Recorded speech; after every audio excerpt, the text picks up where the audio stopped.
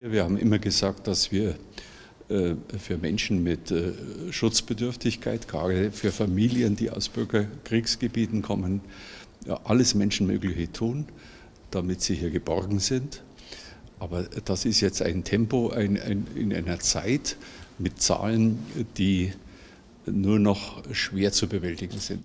Man kann sich da nur bedanken, wie die Bevölkerung, die Behörden, die Polizei, äh, die Hilfsorganisationen, die Kirchen sich um die Flüchtlinge kümmern. Ohne dieses äh, bürgerschaftliche Engagement äh, wäre das alles schon längst zusammengebrochen. Und wir werden nicht nur mit dem Flüchtlingsstrom fertig werden müssen, sondern eine ganze Menge an Folgeproblemen zu bewältigen haben. Wir müssen sofort beginnen äh, mit äh, den Integrationsmaßnahmen für schutzbedürftige Menschen.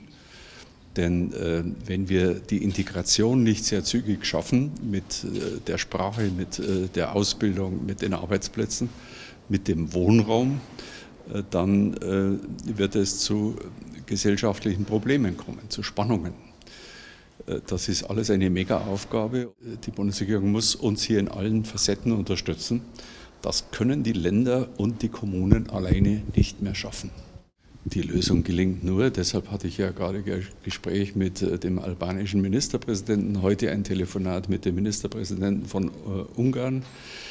Ähm, äh, mit Serbien war ich beieinander, mit Bulgarien war ich beieinander, mit Österreich werden wir, werde ich auch persönlich noch Kontakte herstellen. Das geht nur im europäischen Zusammenwirken. Das geht nur, wenn wir wieder Regeln herstellen, nach denen wir das abwickeln in Europa an den Außengrenzen, mit äh, Aufnahmezentren, äh, mit äh, Verteilung der Flüchtlinge in Europa. Das ist nur letzten Endes europäisch zu lösen. Deshalb muss auch die Europäische Union und natürlich die ganzen Regierungschefs von Europa sich um das Thema annehmen.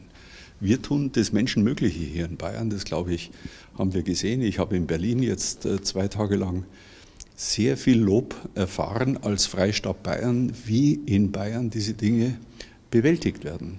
Das ist ja wirklich gut. Und ich möchte, dass diese, dieser Geist erhalten bleibt, dieser Gemeinschaftsgeist.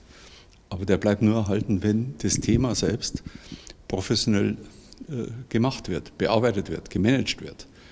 Und das können wir Bundesländer alleine nicht schaffen. Dazu brauchen wir die Bundesregierung wesentlich stärker als bisher und Europa.